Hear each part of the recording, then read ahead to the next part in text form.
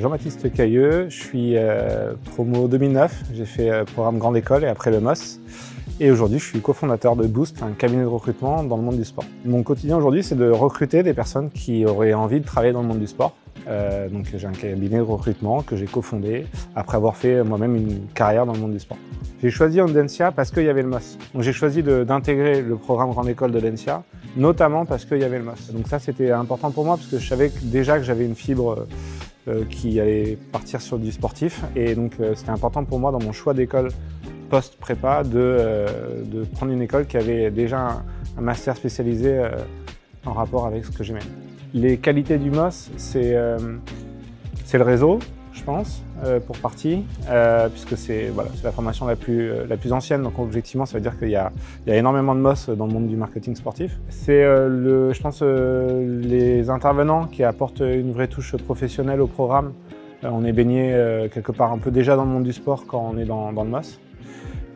et puis c'est aussi les, la partie académique qui est toujours teintée d'une dimension sport quand on étudie les comptes euh, d'une entreprise, c'est les comptes de l'Olympique Lyonnais, donc forcément c'est un peu plus intéressant à suivre que c'était les comptes d'une entreprise en bas.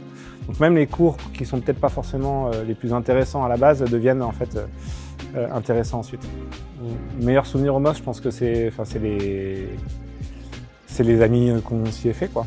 En fait, a posteriori, je dirais ça. C'est-à-dire qu'aujourd'hui, c'est des amis que je revois encore aujourd'hui pour des raisons à la fois personnelles et professionnelles. Euh, donc en plus, c'est un souvenir dans la durée, quoi. Donc, je dirais que c'est ça.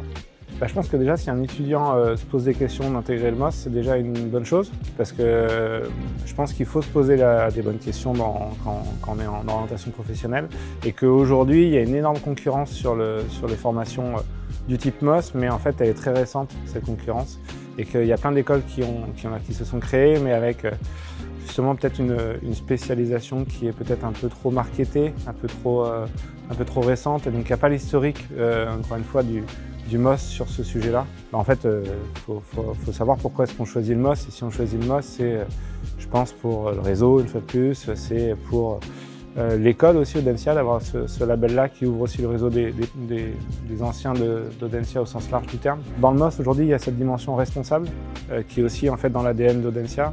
Et ça, je pense que pareil, il n'y a, pas de, a, a pas de formation aujourd'hui qui associe euh, une belle formation académique, cette spécialisation sport et cette dimension responsable qui est, je pense, centrale pour les étudiants dans le monde dans lequel on vit.